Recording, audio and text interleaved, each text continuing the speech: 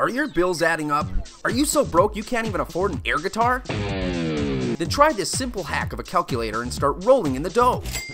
Just grab any household calculator. Now all you have to do is assign letters to each of the buttons, like telephones do. Here's a quick guide. ABC is assigned to number 2, DEF assigned to number 3, and so on. Now resist the urge to type in naked hotties, because it won't do anything. Pervert. We want to type in the word money, and that would end up being 66639. Go ahead and type that number in and then press plus, minus, and multiply buttons at the same time. The display should change to money, and voila!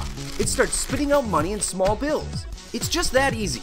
With just a few button presses, you've got a pile of cold hard cash. Why, you could buy your father's approval with all that money. Uh, you were a mistake. Mm, maybe not.